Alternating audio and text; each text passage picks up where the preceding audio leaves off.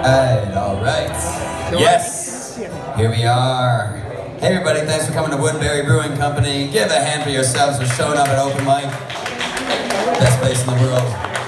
I'm Johnny Chapman, I'm your host for the open mic night. If you have any questions, don't hesitate to ask me. Everybody gets three songs or 15 minutes or whatever you want to do, just don't go too long. We're going to start the night off with the poetry of Maya Rose. Clap your hands for Maya Rose, everybody. Hello,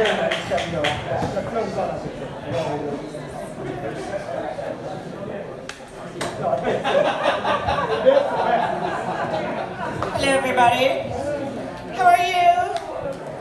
Everyone farewell in the storm? Yeah, good. You're here. Glad.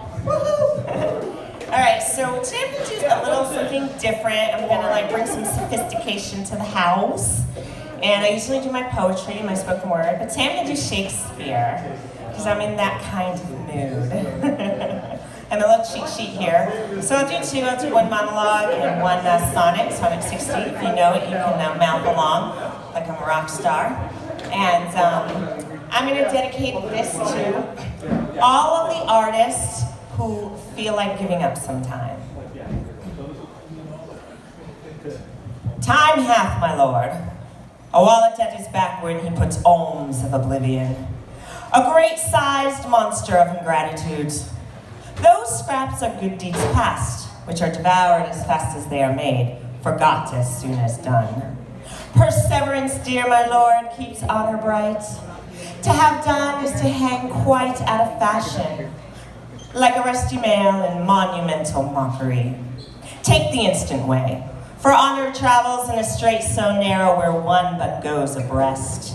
Keep then the path, for emulation has a thousand sons that one by one pursue. If you give way or hedge aside from the direct forthright, like to an entered tide, they all rush by and leave you hindmost.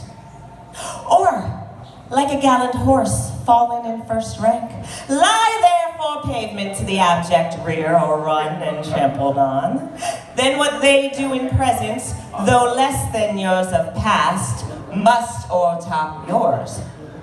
For time is like a fashionable host that slightly shakes your parting guest by the hand and with his arms outstretched as he would fly, grasps in the comer. Welcome ever smiles. And farewell goes out sighing. Oh, let not virtue seek remuneration for the thing it was. For beauty, wit, high birth, vigor of bone, desert in service, love, friendship, charity are subjects all to envious and calumniating time.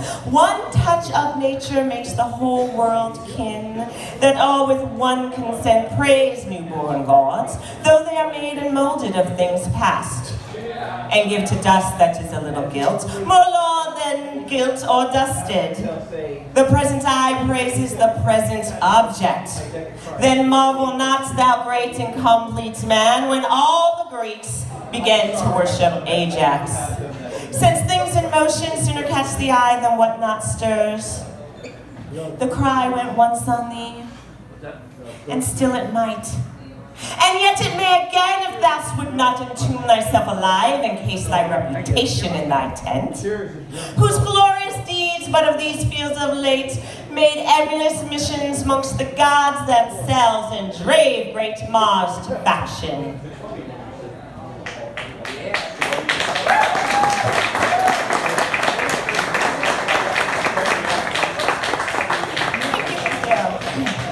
So time for a little sonnet. Sonnet 60.